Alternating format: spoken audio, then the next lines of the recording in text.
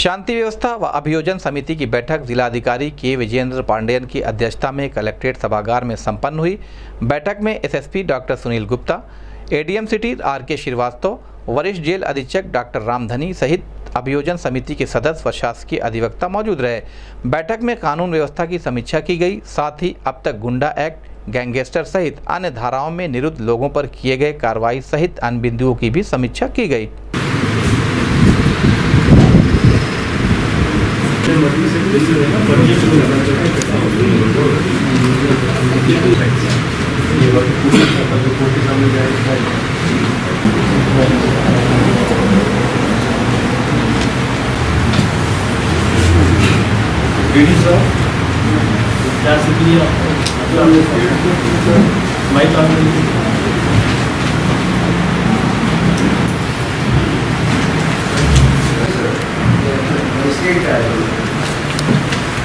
这一次啊，是肯